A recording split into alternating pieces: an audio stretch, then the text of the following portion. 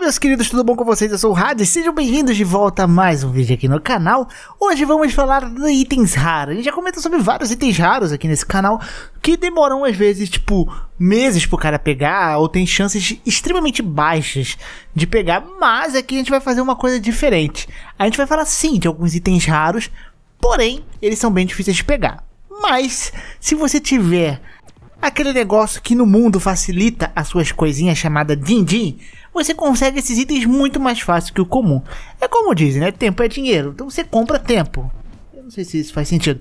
Mas enfim, nós vamos falar hoje sobre itens que são bem raros de se pegar nos jogos, mas que, né, com o, a carteirinha certa você consegue eles muito mais fáceis. Então, antes de começar o vídeo, não esqueça de deixar seu like, se inscrever no canal, puxa o seu banquinho se está aqui do nosso lado e vambora pro vídeo. Bem, eu não entendo muito de World of Warcraft, eu nunca joguei tanto esse jogo assim, mas ele é extremamente famoso. E existem itens que são raros, difíceis de pegar, e que levam às vezes o cara jogando basicamente a vida toda esse jogo para o cara ficar bom no negócio. Aqui, nós não vamos falar apenas de um item, e sim de vários itens, porque aqui é o caso de uma conta Pois é, os caras comprou uma conta no jogo que era de um Rug na época, ele era muito forte, que seu nome era Zeuso. E, né, um dos principais motivos dessa conta era um item que o cara tinha, que basicamente duas pessoas no servidor só tinha. Isso porque ele ficou forte, ele conseguiu fazer uma parte difícil no jogo. Eu não sei como consegue esse item na real, mas eu sei que é difícil de conseguir, demanda tempo, né? É sobre isso que estamos falando, itens que demoram.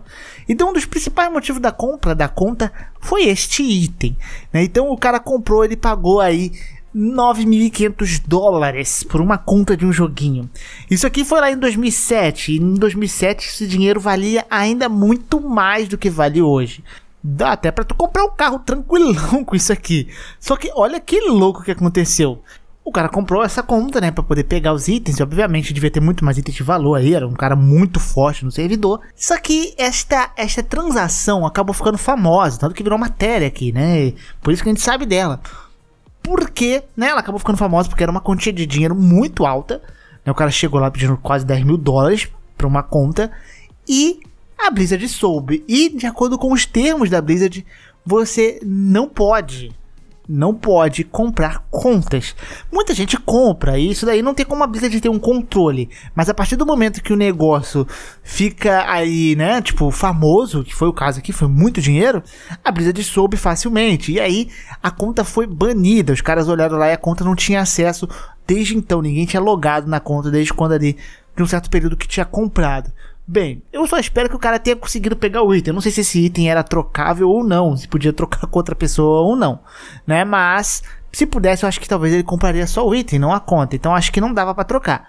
Então o cara comprou, gastou esse dinheirão todo e teve a conta banida ainda. Olha, olha que louco, mano, que trampo, né? Bem, pro cara gastar isso no jogo, eu acho que era um cara que já tinha boas granas e talvez não faria tanta falta para ele. Eu espero, porque o cara já ser meio panguado para comprar 10, 10 mil dólares no jogo, né? Já é meio doido. Ainda mais o cara perder, você imagina a mente do cara, né? Então, espero que pelo menos o cara seja um cara afortunado já, porque é complicado. Mas sim, né? O cara gastou e perdeu a grana. Aqui a gente não vai falar apenas de um item específico, e sim de vários itens no jogo.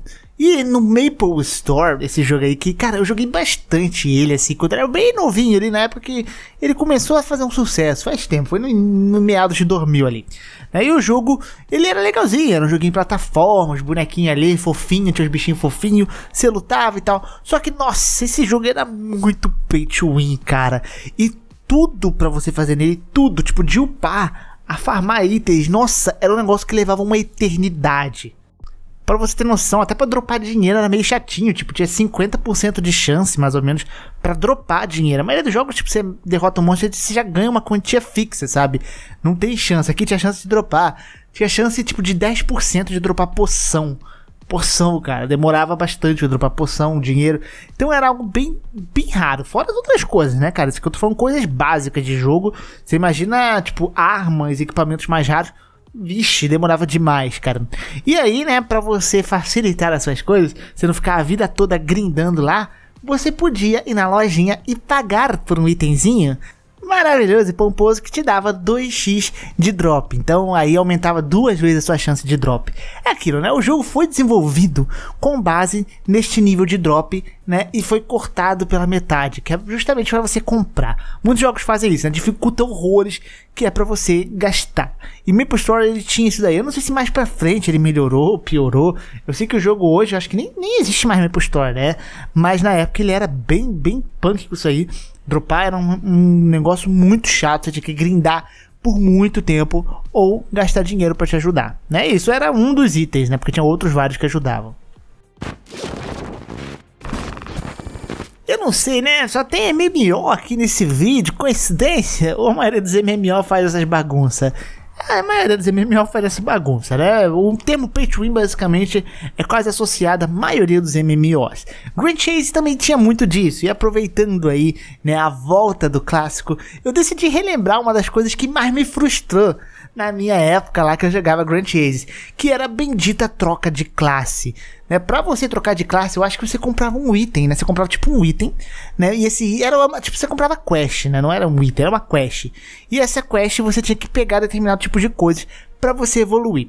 Para a segunda classe, mano, eu lembro que eu fiquei horas, eu acho que fiquei dias jogando o mesmo level para conseguir. Isso porque você precisava de pegar fragmentos, a gente chamava de frags na época, né? Ficava lá na, no título da sala, frags, né, galera, para você ficar pegando frag.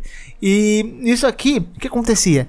Você tinha que pegar frag. Frag ele dropava, eu acho que ele dropava 100%, eu acho que não não tinha chance de dropar não.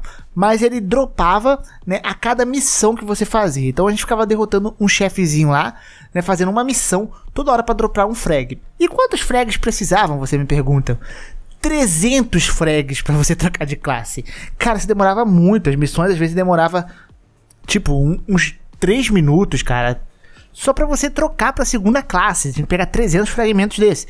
Era um grind excessivamente exaustivo. Era umas 10 a 15 horas fazendo a mesma fase no jogo. Só que você podia comprar, né, a versão ali com cash, que isso facilitava, você conseguia muito mais rápido. De 300 caía para 50 apenas, né? E isso aí, cara, nossa, era um alívio gigante para quem podia gastar. Então, sim, né? Você penava, grindava pra caramba pra trocar pra segunda classezinha, né? Quando o cara passava de cash lá, era 25% do, da quantidade de coisa que você tinha que pegar. Maravilha, né? Acho que é por isso que tinha tanto hack nesse jogo. Quando você entrava na sala que o dono da sala ficava conjurando meteoro toda hora ali no hackzão, você ficava feliz. Você falava, pô, agora eu vou pelo menos pegar os frags mais rápido.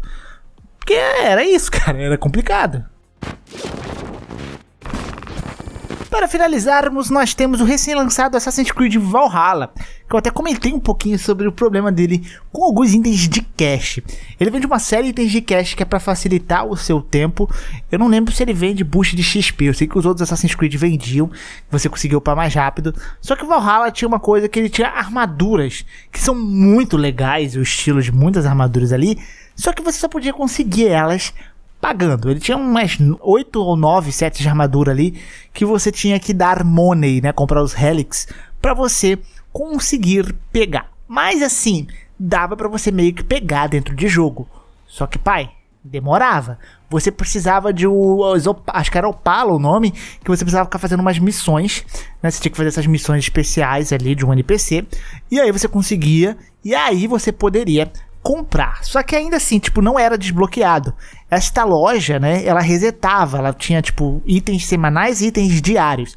Então, sei lá, podia aparecer o peitoral da armadura que você quer, aí você compra.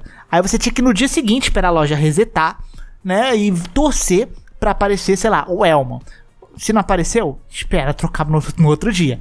Então você levava um tempão, mano. Muito tempo mesmo para você conseguir um itemzinho no jogo. Né? Se você quisesse completar um set que você achou maneiro ali, rápido. Aí você já sabe, né? É o que eu falei.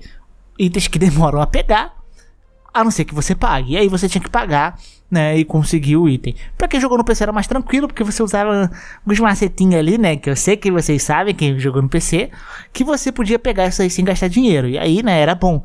Mas nos consoles não tinha muito para onde você fugir, não. Ou você pagava, ou você esperava, às vezes, dias para conseguir completar sua armadura. E, meus queridos, esse aqui é o vídeo. Espero que vocês tenham gostado. Se vocês gostaram, não esqueça de deixar seu like, se inscrever no canal. Muito obrigado pela visualização, meus queridos.